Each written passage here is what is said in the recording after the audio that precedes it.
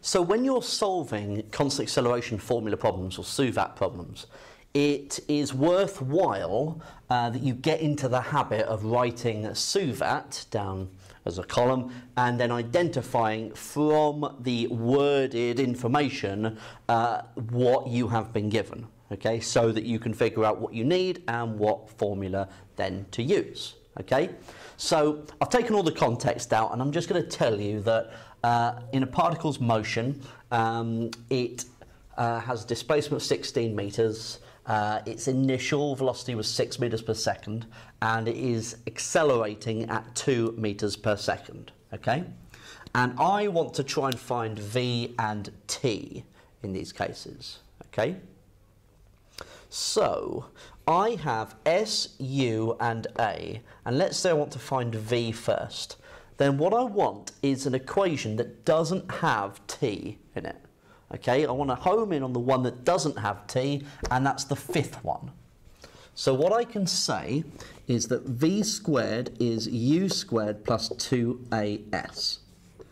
So v squared is u squared, so 6 squared, plus 2 lots of a times s. Okay, so v squared is, okay, so we've got 6 squared plus 2 times 2 times 16, and that gets me 100. Okay, and so V is 10.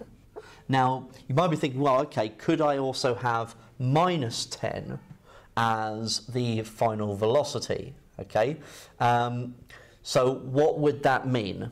That would mean that if I had V as minus 10, I'd gone from 6 meters per second to minus 10 meters per second, but I would have been accelerating at 2 meters per second. That doesn't make any sense. The acceleration would have had to have been negative as well. So v has to just be the 10 meters per second. Okay? Now, at this point, I would have enough information to find t quite easily, okay?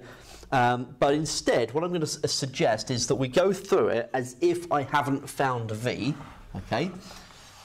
So going back to the original information that we got the S, the U, the A, okay, and I want T, I'm now looking for the equation that doesn't have V.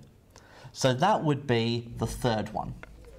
So the third one says S equals UT plus 1 half AT squared. So if I substitute in, I've got 16 is equal to 6t plus 1 half times 2t squared. So let's move everything onto one side of the equation. I've got 1 half times 2t squared, so just t squared, plus the 6t, take away the 16.